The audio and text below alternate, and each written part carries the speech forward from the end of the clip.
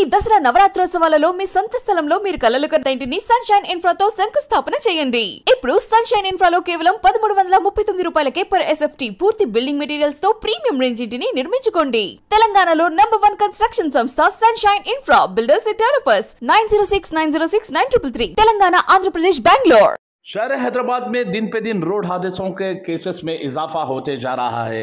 तेज़ रफ्तार से गाड़ी चलाने की वजह से और मोबाइल फ़ोन और लोगों से लोगों को देखते हुए गाड़ी चलाने की वजह से दिन पे दिन हैदराबाद में कहीं ना कहीं को, कोई ना कोई चौरस्ते पर या कोई हाईवे रोड पर ऐसे रोड हादसे में इजाफा होते जा रहा है। ऐसा ही एक वाक़ राजेंद्र नगर पुलिस स्टेशन के हदूद में शिवरामपल्ली पिल्लर नंबर 244 के पास तेज रफ्तार से आई कार ने डिवाइडर को देकर गाड़ी लुढ़क गई है।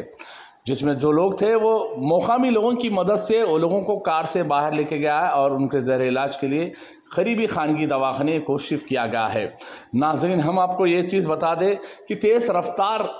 से गाड़ी मत चलाइए। तेज़ रफ्तार से गाड़ी चलाने की वजह से आपकी भी जान को ख़तरा है और सामने वाले की भी जान को ख़तरा है। और ख़ास करके ऐसे नौजवान जो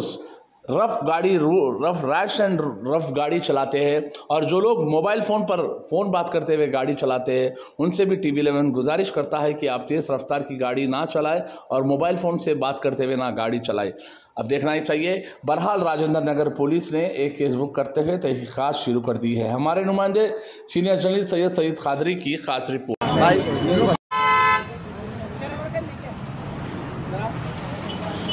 पूरा ले लो सारी डिपार्टमेंट दो। मैडम